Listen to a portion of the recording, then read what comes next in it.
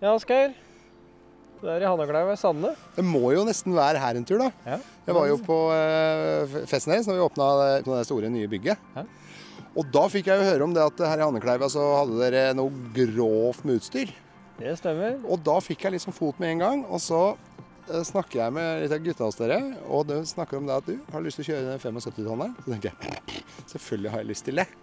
Så da ble det sånn da at eh, vi avtalte jeg skulle gjøre det. Og så spurte jeg dere igjen om jeg kunne få lov til å filme det Ja. til eh, programmet Garasjen, som skal gå på Automotorsport. Og det var jo greit. Så da tromma vi sammen inn hit, og har vi kjørt det som er av fete maskiner i dag. Hva har du kjørt for noe? Jeg har kjørt en nydelig totonner. Ja, Den eh, det var et smykke. Det var et smykke. Og, det der, og du vet at det er der veldig mange menn og fedre, og også mammaer og, og, eh, og damer, begynner. Du leier deg gjerne en totonner, putter den ut i hagen, graver masse skit som du ikke har mulighet til. Du har ikke jevn plen resten av livet, Nei, nei, nei. men det er gøy. Og så fikk jeg kjøre det største jeg hadde kjørt i dag, for jeg hadde kjørt en 40-tonner en gang. Ja. Da fikk jeg kjøre 48-tonneren, eller 50-tonneren. 50 tonner, ja. Og det er jo grov, skikkelig maskin. ja Og så fikk jeg lov til å kjøre El Grande Papa. Det, og de syntes det var så kult. Eh, De sa at det er den største Volvo-maskina i Europa. Det er det. Det er åttende i Norge. Tenk på det. Ja.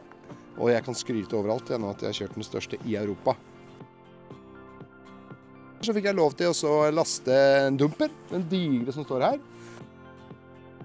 Og så fikk jeg lov til å kjøre den Yes. hele to kilometerne, helt i bånn På tippen. på tippen. Ja. og tømme der. Og så fikk jeg kjøre det eneste maskina jeg aldri har kjørt, som er bulldoser. Og legge ut lasset mitt sjøl. Det var gøy. Hjelm har du fått, da. Hjelm har jeg fått. Veldig, veldig viktig. Og legg merke til det. Asgeir i gull.